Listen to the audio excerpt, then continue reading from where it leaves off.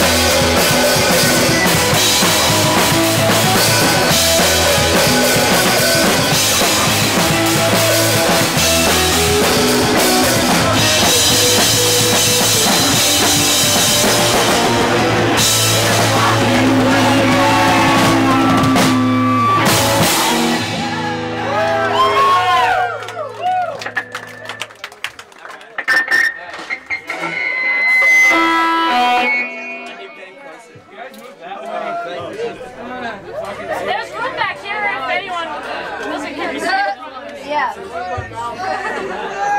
It tastes a bit. If people could move like a tiny bit this way. Oh, hey, that's right. Oh, my, oh, my glasses.